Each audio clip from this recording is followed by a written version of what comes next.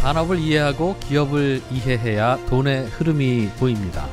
리서치 명가 메리츠증권과 3프로TV가 함께 야심차게 준비한 3프로TV 주식대학 겨울학기 실전 투자 특강.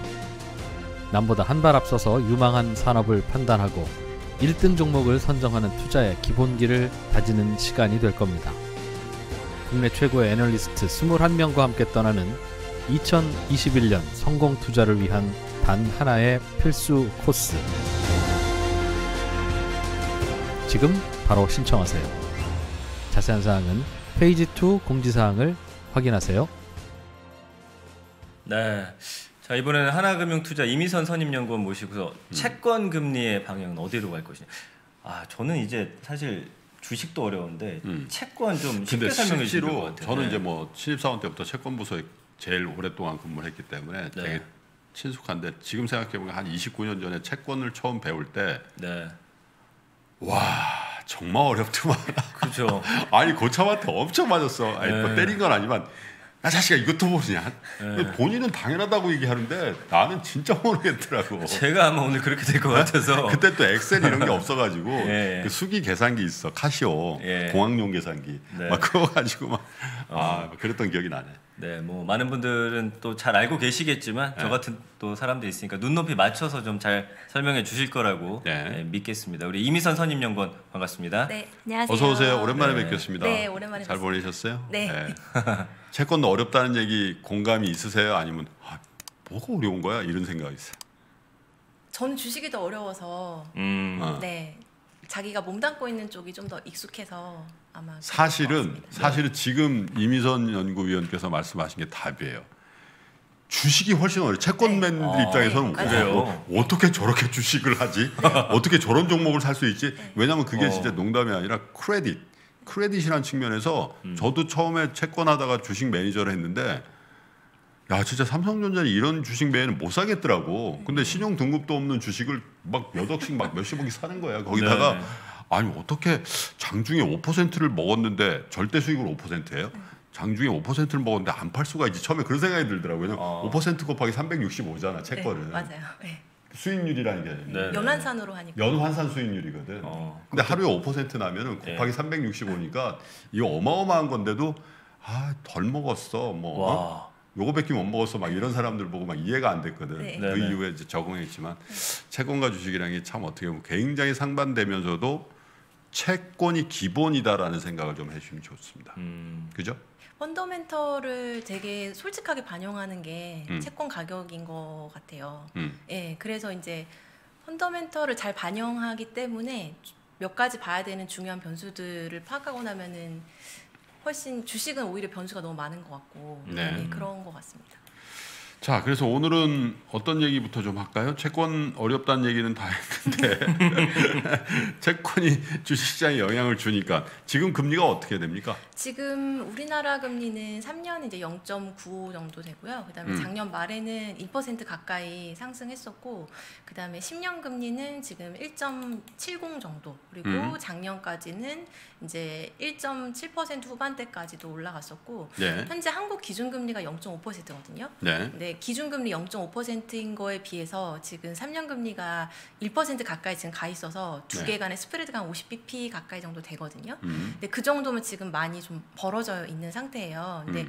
어, 여기에는 이제 수급적인 부분이 많이 들어가 있고요. 네. 예, 우리가 한국도 그렇고 다른 나라도 그렇고 이번에 코로나 이후에 경기 부양하면서 적자 국제 발행 워낙 많이 했기 때문에 네. 이제 우리나라는 그런 공급에 대한 부담들이 금리에 좀 많이 반영이 됐고요. 네. 근데 각국들이 이제 기축 통화인 나라들은 QE를 많이 할 수 있으니까 양적 완화. 예, 예. 자산 매입을 중앙은행들이 많이 하다 보니까 적자 국제 발행 많이 했어도 지금 금리가 컨트롤이 좀 될 수가 있고요. 미국이나 이런 나라들은 근데 우리는 어, 그렇게 적극적으로 자산 매입을 많이 못 하다 보니까 어, 채권 공급 많아지면 그게 이제 고스란히 금리 부담으로 좀 작용하고 있습니다. 음.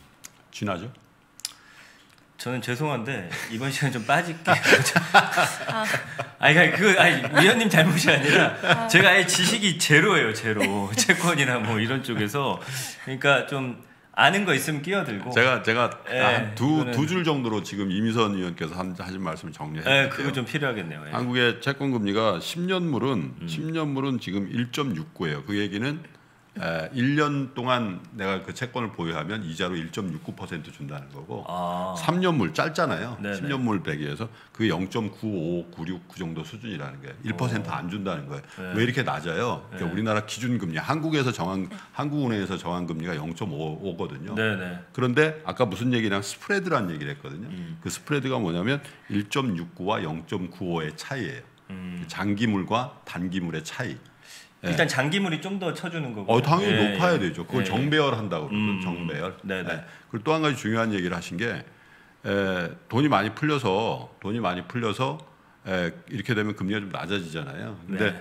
사실은 이제 그 미국하고 우리나라하고 좀 차이가 있는 게 저 미국 여- 중앙은행에서는 채권을 막 사들인다고. 네네. 그죠? 네. 그 말씀 하신 거죠. 네네, 맞습니다. 근데 한국은행 그런 거 잘 안 하니까 네. 음. 에, 그래서 우리나라 금리가 좀 더 높다. 네. 이런 말씀 하신 거고. 네. 음. 그럼 이게 어쨌든 이율이 그렇게 크진 않은데 음. 워낙 큰 돈이 들어가니까 또 많이 먹게 되는 건가요? 그건 아니에요. 그 설명 좀 해주실래요? 어, 예, 지금 금리 수준 자체는 되게 낮은데 거래량이나 한 번에 들어가는 금액은 주식보다 훨씬 그쵸, 크고. 대부분 기관 투자자들이 움직이다 보니까 네. 이제 보통 몇 천억 뭐 기, 몇 조? 예, 와. 예, 그런 단위로 움직이기 때문에 네. 뭐 이제 아주 작은 단위로 움직여도 이제 벌어들이는 수익은 이제 음. 절대 규모 자체가 감사합니다. 지금 이미선 의원님이 당황하셨어요. 이렇게까지 모른다. 싶어가지고. 아, 아닙니다. 예. 네, 그러나 어쨌든 조금씩 이해하면서 제가 쫓아가도록 할게요. 예. 정확히 2년 전에 정프로를 보는 듯한. 아 저도 이제 시작이에요. 저 공부하면은 잘하는 사람이에요. 아 그래서 예, 예. 이제 주식 시장에 이제 삼천 포인트 목전이니까 음. 관심거리가 뭐냐면 많은 분들이 아 미국도 그렇고 한국도 그렇고 금리가 오를 것 같다. 네. 음. 금리가 오르면 네. 주식의 상대적인 매력도가 떨어진다. 네네. 지금은 금리가 1%니까 아, 야 연에 1% 갖고 되냐? 그래서 주식을 사서 하루에 5% 먹는 게 낫지 이렇게 그렇죠. 하는데 예. 만약에 금리가 오르면 야 그게 강도가 좀 약해질 거 아니야. 음. 이런 걱정들 하죠. 네, 그렇죠. 그래서 금리가 예. 어떻게 될 것 같아요? 일단 미국 쪽 금리가 중요할 것 같은데요. 예. 지금은 이제 미국 10년이 0.95% 정도. 그래서 지금 0%대에서 계속 유지가 되고 있는데 예. 아무래도 이제 경기가 조금씩 회복이 되면 자연스럽게 금리는 올라갈 건데 음. 그렇죠. 그럼 연준이 어느 시점에서 어느 정도의 강도로 자산 매입에 대한 규모를 이제 컨트롤 할 거냐가 관건이 될 것 같아요. 예. 그러니까 금리가 어느 정도까지 오르는 거를 연준이 이거를 용인해 줄 수 있느냐. 예. 예, 거기에 거의 달려 있는 것 같아요. 근데 예. 이제 경기가 실제로 회복되고 물가가 상승하고 이렇게 됐을 때 음. 그렇다고 해서 연준이 인지적으로 금리를 계속 낮게 유지하면서 가지는 않을 거거든요. 음. 조금씩 펀더멘털이 금리라는 가격에 조금씩 반영되도록 금리 상승을 조금씩 용인해 갈 걸로 생각이 되는데 제 생각에는 실질 금리라는 차원에서 음. 아마 접근을 할 수 있을 것 같아요. 실질 금리는 뭐 예요? 예, 실질 금리는 이제 명목 금리라는 건 이제 우리가 실제로 눈으로 지금 보여지는 금리거든요. 아까 제가 말씀드렸던 미국 10년 금리가 0.9. 0.95%다. 예. 그게 이제 명목 금리고요. 예. 실질 금리는 이제 인플레이션을 뺀 게 이제 실질 금리가 되거든요. 그러니까 물가. 지금 네 물가 상승률을 뺀 건데 그래서 지금 음. 미국 물가가 현재 1% 중반대 정도 되거든요. 네. 예, 그러면은 지금은 이제 마이너스 0.5 정도, 음. 0.55 정도, 예, 그게 지금 실질 금리의 수준이고요. 음. 그래서 일단 올해 정도 연말 정도까지 는 적어도 마이너스 실질 금리를 계속 유지를 해줘야지 이게 미국 경기를 부양할 수 있는 정도가 될 것 같아요. 어. 예. 그런데 이제 연말로 갈수록 미국 물가가 2% 정도까지는 오를 거라는 전망이 대부분이거든요. 예. 예, 그렇게 되면은 이제 실질 금리가 한 0.5 정도까지 계속 유지가 된다. 마이너스 0.5 정도까지 계속 유지가 예. 된다라고 하면은 어 이제 금리가 밀려 1.5 올라가는 거네요. 1.5 정도까지 올라갈 수 있다라고 그렇죠. 볼수 있는 거죠. 예. 네. 근데 이제 만약에 실질 금리가 지금 마이너스 0.5 정도가 계속 유지가 되고 있는데 이게 만약에 0에 가깝게 그러니까 네. 실질 금리 마이너스 폭이 이제 줄어들면서 0으로 가까이 간다는 거는 사실 금융 시장 안에서도 네. 약간 긴축의 그 단계로 넘어간다라고 이제 볼 수가 있을 실질 금리. 마이너스라는 게 그 갭만큼 매우니까 금리는 예. 더 뜬다는 얘기잖아요. 네, 인플레이션을 이제 커버하고도 조금 더 실제로 금리가 높아진다라는 그렇죠. 얘기라서 금융시장은 실질적으로 약간 긴축의 어떤 그 반응들이 아마 나올 거거든요. 주가가 조금 영향을 받는다. 음. 금리를 올리거나 그렇지 않지만 네. 그렇진 않더라도 예, 예. 돈을 푸는 양을 줄이거나 네. 뭐 연준 의장이 코멘트를 하거나 네, 뭐 네. 이런 방향으로 갈 거란 얘기죠. 예, 그래서 저는 이제 실질 금리 수준이 이제 지금 현재 마이너스 0.5 정도 유지를 하고 있는데 이게 만약 급격하게 줄어들거나 이렇게 변하게 되면은 아마 자산 시장이 좀 영향을 받을 수도 있다라는 생각이 들고요. 음. 근데 연준에서는 아마 그거를 어느 정도는 컨트롤하면서 가게 될 거라는 생각은 하고 있는데 음. 예, 그 부분을 보는 게 중요할 것 같습니다. 근데 이게 연준에서는 어쨌든 smooth하게 가고 싶어 하지만 사실 실질적으로 실물 경기가 회복되고 있는 과정 안에서는 연준 안에서도 이거에 대해서 지금의 어떤 완화적인 정도를 계속 유지하면서 갈 거냐 이거에 대한 논란 자체가 생길 수 있거든요. 그렇죠. 예, 그러면서 이제 조금씩 긴축에 대한 목소리도 나올 수 있고 예. 예, 그런 것들이 아마 시장에 약간 노이즈를 줄 수 있을 것 같고요. 음. 그 다음에 지금 아시아 안에서는 이제 중국이 일단 경기 회복이 가장 빠르다 보니까 네. 약간 부분적으로 통화 정책을 어, 유동성을 조금씩 조절하는 모습들이 좀 나오고 있거든요. 중국이. 예, 그러니까 국유 기업에 대한 구조 조정도 조금씩 하고 있고, 음. 그 다음에 은행들의 이제 부동산에 대한 대출도 담보 대출도 좀 줄이고. 네, 익스포저도 지금 제한하고 있고, 그러니까 지금 언, 언제 어쨌든 유동성을 조금씩 이제 조절을 하고 있는 모습들이 나타나고 있고요. 음. 그러니까 이게 이제 한국도 지금 어느 정도는 비슷한 흐름인 것 같아요. 대출에 음. 대해서 지금 제한을 조금씩 두고 있고, 그러니까 연말에 작년- 시중은행들 그 신용대출 규제했던 거 다 풀었나요 이제? 아직 아직 안 푼- 풀었죠? 예, 네. 아직 안 풀었어요. 음. 예, 아마 그렇게 금방 풀지는 않을 것 같아요. 음. 예, 작년에 워낙 일단 본을 많이 풀어놨기 때문에 네. 그래서 어, 올해 관건은 그러니까 작년에는 일단은 대규모로 유동성을 확 풀고서 이렇게 띄우면서 갔는데 올해 같은 경우에는 일단 그 정도의 신규 유동성이 제공되지는 않을 것 같고요. 음. 예, 일단 풀어놓은 게 있으니까 그럼 그 안에서 펀더멘털을 회복되기를 기다리면서 이제 가야 되는 상황이 된 것 같아요. 네. 예. 근데 이제 그 과정에서 이제 또 펀더멘털이 회복되는 과정 안에서 그러면 중앙은행들도 이제 보면은 의견들이 아마 조금씩 긴축이 필요하지 않냐 아마 이런 목소리들이 내부적으로 음. 나올 수도 있을 것 같고요. 그런 음. 부분들이 아마 시장에 조금 어, 부담을 줄 수도 있을 것 같습니다. 근데 아, 임선 연구위원도 뭐 채권 분석을 한 지 꽤 오래 되셨을 거고 네. 저도 채권 시장을 본 게 뭐 한 20몇 년 됐, 됐는데 그 간헐적으로 금리가 많이 올랐던 경험도 갖고 있어요. 갖고 네. 있기는 그래서 막 와 뭐 재앙이다 막 이런 이런 예를 들면 2018년도 초만 하더라도 네. 미국 금리 많이 올랐고 그때 네. 주가 많이 빠지고 그랬잖아요. 예, 예. 근데 몇 달 안 가더라고. 계속 빠진 거예요. 계속. 네. 예, 예, 예. 그래서 채권 금리가 오를 거다라고 전망하는 분들은 다 양치기 소년이 됐잖아요. 지금 한 10년 이상. 그렇죠. 그죠? 예. 아, 이제 이제는 다 왔습니다. 네. 그래서 마이너스까지 막본 거잖아요. 네, 네, 네. 그래서 올해도 이 주식 시장에 대해서 굉장히 신중론을 피는 분들은 네. 거의 100에 99는 채권 금리를 얘기하면서 신중론의 이론적 근거를 세마요. 네. 인플레이션이 오면 네. 금리가 올라간다. 금리가 네네. 올라가면 주식의 상대적인 매력도가 떨어진다. 네, 네. 그리고 머니 무브 금리 상품에서 주식으로 오던 게 멈추고 오히려 역방향 역류할 수 있다. 음. 이런 얘기들을 하면서 주식 시장의 거품론을 얘기하는 거거든요. 네, 네, 네. 그런데 과연 과연 정말 금리가 그렇게 오를까? 아, 그런 생각이 좀 저는 좀 있거든요. 네, 네. 그리고 그 금리를 결정하는 의사 결정자들이 주식 시장의 북락을 보면서까지도 그 금리를 그냥 놔두겠냐 이런 그 연준이죠. 네. 이런 생각도 있단 말이에요. 네, 네. 네, 그거 어떻게 보세요? 일단 인플레이션이 오는 부분에 대해서는 어, 가능성은 높아진 것 같아요. 예. 왜냐하면은 이제까지 금리가 계속 이제 거의 10년 이상 하락을 해왔는데 예, 그 과정이 이제 그렇게 됐던 제일 큰 배경은 순간순간 어려움이 닥쳤을 때 네, 항상 기준금리 인하로 대응을 해왔던 거가 첫 번째가 있었던 것 같고 예, 그 다음에는 이제 제로금리가를 떨어진 다음에는 채권 매입을 하면서 경기 부양을 했고 그게 결국에는 장기 채권을 또 매입하는 방식이었기 때문에 또 예. 금리를 낮추는 이제 그런 방식으로 계속 대응을 했던 것 같고 재정 정책을 그렇게 많이 펼쳐지지는 않았던 것 같아요 음. 이제까지는. 음, 근데 지금 코로나 이후에 정책 대응으로서 가장 달라진 거는 금리나 더 이상 할 여력 없고 그러다 보니까 이제는 그냥 바로 적자 재정으로 가고 있거든요. 음, 예, 적자 재정을 펼치면서 가게 되면 아주 긴 시기에서 보면 한국도 마찬가지고 미국도 가- 마찬가지고 GDP 대비 재정 수지 적자 비율하고 소비자 물가하고 크게 거의 같은 방향으로 움직이거든요. 예, 그런 걸로 봤을 때는 어, 이번에 지금 미국의 GDP 대비해서 올해까지 하면 마이너스 20% 정도. 음. 예, GDP 한 20%에 해당하는 적자 재정을 편성을 하는 거고 한국도 5% 정도. 예, 그 정도의 적자 재정을 지금 원래 편성을 4%가 딱 금기되는 그 라인이었는데 넘어가 버린다는 거죠. 네, 그렇죠. 예, 이미 우리가 어떤 그 동안에 잠재적으로 좀 지키려고 했던 선 같은 거는 지금 다 넘어선 넘어갔고, 상황이거든요. 네. 예, 그래서 일단 이렇게 재정 확장 정책으로 지금 완전히 넘어갔고 실제로 그냥 돈을 그냥 푸는 쪽으로 간 거라서 음.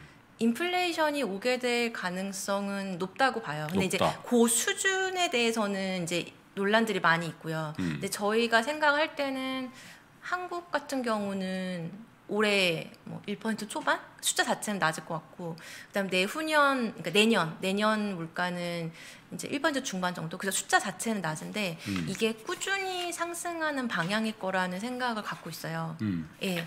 그러면 이제 물가가 이제 꾸준히 조금씩 조금씩 오- 올라가는 음. 그런 국면으로 우리가 들어가게 된다는 거죠. 근데 이제 2% 가까이까지 뭐 오르거나 급격하게 물가가 오르는 게 아니라면 음. 그렇게 긴축의 강도를 강하게 중앙은행이 가져가지는 않을 거예요. 음. 예, 근데 이제 인플레이션이 계속 생긴다는 것 자체에 대해서 아마 시장이 조금씩 숫자가 높아지는 그 국면에서는 계속 경계심을 갖고 바라볼 수밖에 없을 것 같아요. 음. 근데 이제 어쨌든 금리에 가장 영향을 맞추 그 미치는 게 사실 에, 중앙은행의 통화 정책인데 네. 그 중앙은행의 통화 정책은 에, 완화적이거나 긴축적이거나 네. 그렇잖아요. 그래서 에, 지금은 굉장히 완화적인데 네네. 이게 긴축 모드로 전환하면 에, 뭔가 문제는 생기는 거잖아요. 긴축적으로 갈 수도 있고 또 정부에서 그 확장 재정의 폭을 좀 줄일 수도 있을 음. 것 같아요. 그런데 네. 지금 금리가 반등할 거라고 생각했던 모든 그 오류가 어디서 나온 거냐면 두 가지잖아요. 야 물가 오를 만한데 물가 한 번도 안 올랐잖아요. 아, 그렇죠. 몇 예. 아니 물가라는 게 오르락 내리락 하는 건데 물가 아예 그냥 음. 젖은 낙엽처럼 붙어 있어 버렸잖아요. 네. 그죠? 거기다가 야, 요 정도 되면은 중앙은행이 뭔가 스탠스를 바꿀 만한데도 조금 네. 주식이 빠져버리면 아예 그런 적 없어 이렇게 해버려. 네, 네, 그 네. 두 가지가 다 틀린 거잖아요. 이제 네. 연구위원이 틀렸다는 게 아니라 네. 전 세계 채권 그 시장을 전망하는 분들이 네. 대, 대체로 그 오류에 빠져 있었단 말이죠. 예, 예, 그죠? 예. 근데 진짜 물가가 오를까요? 구조적으로 예를 들면 유통의 혁명, 유통의 혁명이라든지 뭐 이 소비를 줄이잖아요. 예. 이렇게 수명이 늘어나고 그러니까 야 내가 왜 소비를 해야 되니?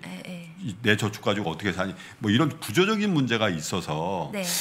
물가가 정말 옛날 그 개념으로 오르락내리락 하는 것 자체가 깨져버린 거다라고 네. 주장하는 분이 많단 말이에요. 예, 예. 이게, 두 가지가 지금 같이 작용하고 있는 것 같아요. 예. 구조적으로 뭐 온라인 소비 늘고 그 다음에 어떤 생산의 비용 자체가 구조적으로 낮아졌고 그렇죠. 지금 말씀하신 어떤 구조적인 요인들이 계속적으로 물가를 끌어내리는 예. 요인으로 여전히 현재 작동을 하고 있는 크죠. 상황이고요. 예. 예. 근데 몇 가지가 달라진 것 같아요. 예. 예, 몇 가지가 달라진 것 같은데 어, 예전 같았으면은 예를 들어서 미국이 물가가 2% 정도까지 가게 되면 예. 연준이 항상 금리 인상을 단행을 해 왔거든요. 그렇죠. 예, 그러면서 한 번씩 버블을 정리해주기도 했고, 예, 한 번씩 시장이 좀 조정을 받으면서 가는 과정을 거쳤거든요. 근데 지금 같은 경우에 연준의 스탠스는 예. 인플레이션을 한 2% 중반까지는 용인하겠다라는 쪽으로 바뀌었고, 예. 예, 그래서 인플레이션이 올 때까지 우리는 가보겠다라는 입장인 것 같아요. 어쩌면 좀 오라는 뜻도 되잖아요. 예. 예. 그러면은 어떻게 될까? 예, 이제 음. 그런 생각을 함, 갖게 되는 거고요. 예, 중앙은행이 저렇게 작정을 하고서 인플레이션을 만들어 보겠다라고 음. 정한 상황에서는 네. 어떻게 할 것이냐라는 생각이 이제 그것이 이제 과거랑 좀 달라진 점인 것 같고 예. 두 번째는 이제 아까 말씀드렸던 이제 재정이라는 부분이에요. 예. 전에 네. 없었던 거니까. 그쵸. 지난 2008년 금융위기 때도 미국 정부가 적자 재정 편성한 게 GDP 대비 10%가 안 됐거든요. 음. 예, 그때도 그렇게 큰 위기였고 GDP의 훼손은 이번 코로나 때보다 훨씬 컸는데 거기에 대응하는 방식은 거의 금리 인하랑 채권 매입에 이제 집중이 돼 있었거든요. 네. 그런 정책들은 인플레이션을 일으키지 일. 제, 일으키는 영향은 되게 제한적이에요. 예. 예, 근데 지금은 그냥 실물 경제 돈을 일단 투입을 한 거거든요. 음. 근데 현재로서 인플레이션이 안 나타나는 이유는 어, 지금 본원 통화하고 예금성 현금이 이제 M2라는 계정으로 잡혀 있는데. 본원 통화라는 건 화폐 찍어낸 그, 네, 그 실제 그, 그, 그 네, 손에 그게- 잡히는 그 화폐에다가 네, 그게 M1이고. 요구불 예금이라든지 네, 뭐 저, 단기 예금. 합쳐진 게 M2고. 네. 이제 M2가 지금 엄청나게 늘어나 있는 상황인데 음. 일단 정부가 뭐 보조금 지급하고 적자 예정 편성해서 돈을 실물경제에다가 제공한 거가 현재로서는 현금성 자산, 그러니까 예금 이런 것들에 지금 많이 들어가 있는 상황이에요. 네. 예, 그게 아직 실물경제 안에 돌고 있지 않거든요. 음, 거기 이제 일부는 백신이 주식으로도 일반화 된다든지 뭐 네, 예. 이, 그 코로나로 인한 경제적인 위축이 경제 활동으로 이제 전환된다든지 이럴 때 한꺼번에 훅 들어올 수가 있다는 수 거죠. 가능성을 열어줄 필요 있을 것 같아요. 음. 그러니까 지금으로서는 보조금 받고 했을 때 실업 문제도 있고 내가 언제 뭐 일자리를 잃을지 모르고 이런 불안감 때문에 사람들이 예금으로 하죠. 갖고 있단 네. 말이에요. 예, 받은 돈을 그리고 뭐 주식을 할 수도 있고 그래서 주식이 올라간 것도 있고 지금 그렇게 작용을 했는데 이게 이제 실제로 경제 활동이 좀 정상화가 되면 예금에 있던 돈들이 빠져나와서 소비. 소비로 가거나 특정 자산 시장으로 몰려가거나 어느 쪽으로 가더라도 간접적으로 인플레이션에는 영향을 줄 거예요. 음. 예, 그래서 이제 결국에는 경제 활동 정상화가 되는 시점이 언제냐. 예, 그, 그 결국에는 코로나가 좀 잠잠해지는 시점이 언제냐가 결국에는 인플레이션이 다시 반등할 수 있는 시점과도 맞물릴 것 같아요. 네. 예, 좀 다르다는 거죠. 이번엔 좀 다르다. 저는 좀 그렇게 생각하고 있어요. 예, 음. 대응이 근데 달랐기 이제 때문에. 그 이미선 연구위원이 그 분석을 하시면서 가장 많이 접촉하는 분들이 채권 매니저들이잖아요. 채권 예, 예. 매니저, 채권 이게 주식 펀드 매니저도 있고 채권 펀드 매니저도 있는데 네. 채권 펀드 매니저들이 큰 자산을 운용하시잖아요. 그죠? 네네. 국민연금이다 뭐 그런데 어쨌든 채권 채권의 수익률은 수요와 공급에서 결정이 되잖아요. 시장 내에서 그죠? 네네. 채권을 사자는 사람들이 많으면 채권 금리 빠지고 채권 가격은 올라가는 건데 네, 공급이 느는 거는 확실한 것 같아요. 왜냐하면 네. 재정 정책을 하니까. 네, 네, 그런데 그동안 엄청나게 풀린 유동성이 예금으로 가 있다라는 건 채권의 매수 여력도 그만큼 늘어나 있다라는 거잖아요. 네, 네, 그런데 예를 들면 보험이라든지 연금이라든지 또 다른 예, 장기 투자자들의 이 채권 비중을 감안했을 때 오케이 찍어 조금만 높게만 찍어도 내가 충분히 사줄게 이럴 정도로 대기 매수 굉장히 많지 않아요? 채권 매니저들 이렇게 모니터링 해보면 이게 꼭 사야 되는 금, 그- 이 자산들이 많지 않습니까? 예, 자기 이제 매력적인 수준까지 금리가 올라왔을 때 예. 이제 매수하고자 하는 대기 매수는 있는데요. 예. 근데 어 이- 지금처럼 이제 적자 국채를 발행하는 이슈가 예. 그냥 일회성일 것 같으면은 사람들이 굉장히 적극적으로 대기 매수를 하는데 아, 이게 앞으로 계속 있을 계속된다. 수 있다라고 생각하면 계속 기다리게 되는 거예요. 음. 그래서 그런 과정 때문에 작년 하반기 금리가 많이 올랐거든요. 예. 추경이 3차, 4차 이렇게 가버리니까 예. 음. 그러니까 그전 그 전까지는 추경 같은 경우에는 굉장히 단발성 이슈고 그것 때문에 금리가 오르면 음, 매수하기 굉장히 좋은 기회다 이렇게 생각했었는데 그렇군요. 지금은 뭐 사실 올해도 네. 적자국채 더 발행 없을 거라고 장담하기 어려우니까 음. 예, 그런 부분이 이제 조금 조심스럽게 투자자들의 그 이제 심리에 영향을 좀 주는 것 네. 같습니다. 예. 자, 그래서 이제 시간이 다 돼서 하나금융투자의 이미선 연구위원이 보시는 2021년 미국 국채금리, 한국 국채금리의 상단 밴드가 어디까지입니까? 미국 10년은 백신 개발이 정상화가 돼서 어 그 경제 활동이 여름부터 정상화가 된다고 하면 네. 미국 금리 인상 시점도 2022년 정도로 앞당겨질 수 있을 것 같고요. 예. 그렇게 된다고 했을 때 미국 10년은 연말 정도에 1.5% 정도의 상단을 예상하고 있고요. 그 연말로 갈수록 네, 높아진다. 연말로 갈수록 네. 높아질 걸로 예상하고 있고 예. 이제 그 전제는 백신 개발로 인해서 어느 정도 경제 활동이 여름부터는 정상화된다는 전제 네. 하에서 그렇고요. 그 다음에 우리나라는 10년 기준으로 어 1.85에서 1.90 정도. 아, 그러니까 우리나라는 상대적으로 덜 오르네요. 네, 상대적으로 덜 올라요. 우리나라가 작년에 이미 1.69잖아요, 많이 지금. 그죠? 네. 지금 작년에 많이 오른 부분이 있고 음. 우리가 한국은행이 이번에 경기 회복이 돼서 나중에 최종적으로 기준금리를 다시 인상한다고 했을 때 네. 어디까지 인상할 수 있느냐라는 부분을 생각해 보면 예. 어, 1.25 정도가 될 것 같아요. 예, 네. 그 정도의 기준금리까지 인상한다고 한다면 3년이나 10년이나 금리가 어느 정도까지 오를 수 있는지 이런 걸 감안했을 때는 뭐 한국은 그 정도가 상단일 걸로 음. 알겠습니다. 보고 있습니다. 자, 뭐 금리가 올라가는 거에 대해서는 대부분 채권 분석가들이 컨센서스를 갖고 있는데 하나금융투자의 베스트 애널리스트군요. 그 금리 상품 이제 이 수익률에 관한 한 그래서 1.5% 미국 국채 10년물 기준 1.5%인데 지금 얼마냐면요. 에, 0.9 레벨이죠. 네. 0.9 정도, 9 네. 중반 뭐 이렇게 돼 있으니까 한 50bp 여간, 네. 그죠? 0.5 정도 더 오를 수 있다. 그리고 나서의 판단은 사실 주식 투자자들 여러분의 몫입니다. 사실은 그것까지 이제 이미선 위원이 아 그러니까 주식이 될거 그건 얘기 안 하시는 분이니까 아, 뭐0.5% 오른다고 주식이 상대적인 매력도 확 폭락할까 이런 생각들 하시는 분도 있고요. 그것도 추세기 때문에 2021년, 2022년 계속 올라갈 것 같다면 주식을 사지 않겠다라는 분도 있을 수 있는데 그런 주제에 대한 얘기는 에, 다른 분석가를 모시고 에, 왜냐하면 그 주식의 영역이니까 에, 해보도록 하죠. 아 전쌤이 아니, 제가 이번 코너는 출연료 안 받을게요. 한 게 없어. 아니 그래도 아니 얼마를 낸다고 코너별로 그 아니 뭐라도 좀 알아듣고 끼려고 했는데 아, 너무 어려웠어요. 죄송합니다. 우리 이미선 위원님한테 사실 제일 죄송했어요. 아니 왜냐하면 아니 제 눈을 보면서 자꾸 동공이 흔들리시더라고요. 아, 저 인간이 하나도 못 알아듣는 것 같은데 아니요. 내가 잘못하고 있는 것 같다. 그래서 첫술에 왜 부른 게 아니죠. 예, 제가 여기서 오늘 어, 어쨌든 좀 죄송하다는 말씀 그래, 드리고 보내. 다음에는 공부해서 올게요. 오케이. 예, 예. 예.